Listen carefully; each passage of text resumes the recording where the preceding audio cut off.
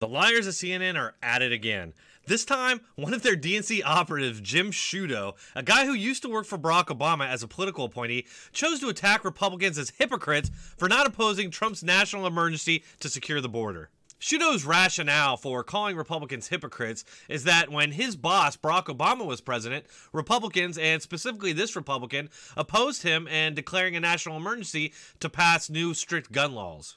Listen, you, have done your homework. You, have done it wearing the uniform. You went down to the border. I, I respect your position. I do want to note that you, like many Republicans, when President Obama uh, used executive authority without congressional approval, you opposed it. When has CNN or any of the other networks ever called Democrats out for their hypocrisy? Or for that matter, when has the media ever called themselves out for their blatant hypocrisy? Of course, CNN nor anybody else in the media outside of Fox News ever opposed Obama's national emergencies. I actually found a CNN article about Obama's national emergency to pass stricter gun laws, and the headline reads Emotional Obama calls for sense of urgency to fight gun violence. The first paragraph goes on President Barack Obama grew emotional Tuesday as he made a passionate call for national sense of urgency to limit gun violence. That's a pretty far cry from what we're seeing from CNN now in regards to Trump's national emergency. If you read the article, and I'll link it in the description, there's not a single negative critique about Obama's use of the national emergency. Of course, CNN didn't oppose Obama's national emergencies, nor did anybody else in the media outside of maybe Fox News. In fact, their negative coverage was reserved for critics of Obama's executive order on guns. But this guy Sciutto gets to operate in a bubble where he never has to answer for his hypocrisies or the hypocrisies of the Democrat Party. Luckily, Illinois Rep Adam Kinzinger was having none of it.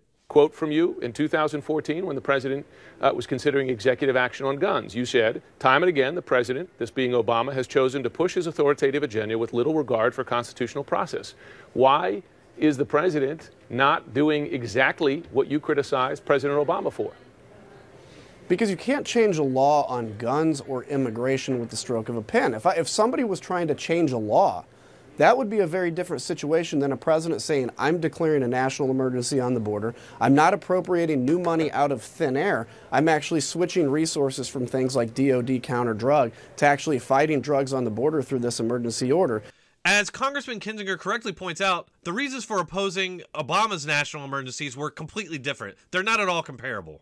Obama can't just pass laws with the stroke of a pen, especially laws that are spelled out in the Constitution. As anybody who took a civics class knows, laws start out as a bill and then they have to be passed through the House and the Senate. Oh, but it looks like I'm going to live. Now I go to the House of Representatives and they vote on me. If they vote yes, what happens? Then I go to the Senate and the whole thing starts all over again. Oh, no. Oh, yeah. Sciutto must know this, but he's using his position as a DNC operative to try and discredit Republicans who might still be supporting Trump. He wants Republicans to come around to his point of view and oppose the national emergency. These are not the acts of an objective journalist, these are the acts of a propagandist. President Trump is actually using the national emergency for what it was meant to be used for. In this case, to defend our national borders. With news breaking today that in February more than 76,000 illegals crossed our border, it's kind of hard to argue that there isn't a crisis.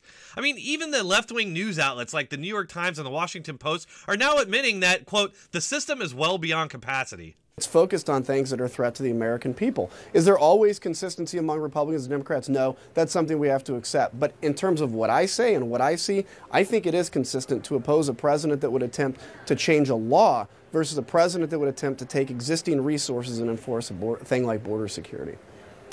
Congressman Adam Kinzinger, thanks for joining us. What? He didn't have anything to say in retort? Well, that's probably because his little attempt to discredit this Republican just blew up in his face. I'm not even sure why he would attempt to make this comparison when they're clearly two different situations. The simple answer is that that's just his job at CNN. He's a Democrat, he's a left winger, and a former Obama political appointee. His job is to advance a DNC agenda and to torpedo any opposition. I think that's pretty clearly what we're seeing happen here.